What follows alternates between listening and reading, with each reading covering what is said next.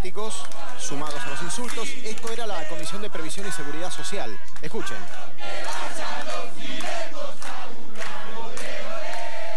A donde vayan los iremos a buscar, un poco replicando las palabras de Yasky en el momento de las primeras manifestaciones contrarias a la reforma. Hablaban, por supuesto, los diputados que estaban en el interior del recinto, en la comisión, y todo esto iba a levantar tanta temperatura que hasta incluso uno de los diputados del Frente para la Victoria iba a participar en una suerte de intención de controlar la situación. Miren quién era. Exactamente, era Agustín Rossi, el diputado por Santa Fe, que tuvo que separar literalmente y evitar que se agarraran a las piñas, literalmente, entre los dirigentes y los gremialistas que se encontraban protestando dentro de lo que era la sala donde se estaba discutiendo en comisión la reforma previsional. Eduardo Amadeo, presidente de la comisión, llamó en ese momento un cuarto intermedio. Escuchen a Rossi.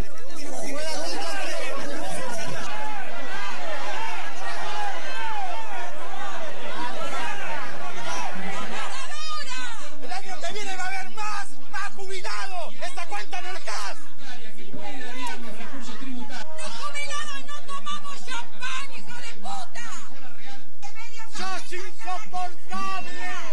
¡Y vivo! ¡La labura! ¡No me aprendiste! ¡Vas a sacar la cuenta! ¡Ladrón! sin, sin modificaciones a la... ¡Está mentira la televisión! difícil. ¡Turro!